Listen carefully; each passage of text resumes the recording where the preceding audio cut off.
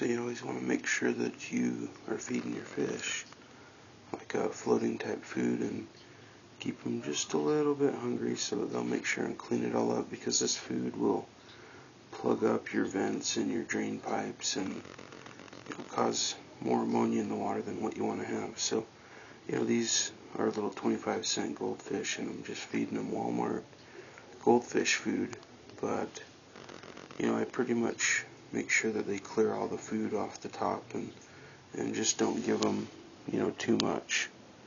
If there's food left on the top when they're done eating, you know, you're giving them too much. And I'm only feeding them once a day right now. But I think we'll eventually step that up. But this is what I'm feeding them right now because they're a little bit small. These uh, little tiny bite-sized pellets.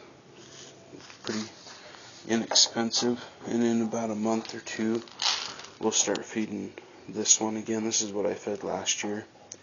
Worked really well, but it takes a while for the pellets to get soft enough for them to uh, pull pull the pellets apart into pieces. But they will do it because they'll be hungry.